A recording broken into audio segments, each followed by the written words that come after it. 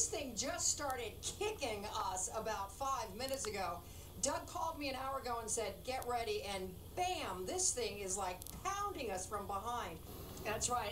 I, I just want to uh, bring you up to date on this thing is coming now in almost like uh, earlier, almost like contractions. It's like every 10 minutes you get another big, like, oh my God, what is that? Uh, I mean, it is it is it is nutty the difference between the wind hitting it, and this is just the leading edge of this thing, it's going to be pretty hairy out here tomorrow.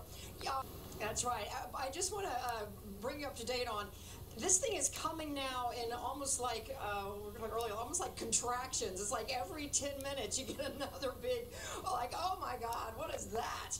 Uh, I mean, it is it is it is nutty the difference between the wind hitting it, and if this is just the leading edge of this thing, it's going to be pretty hairy out here tomorrow.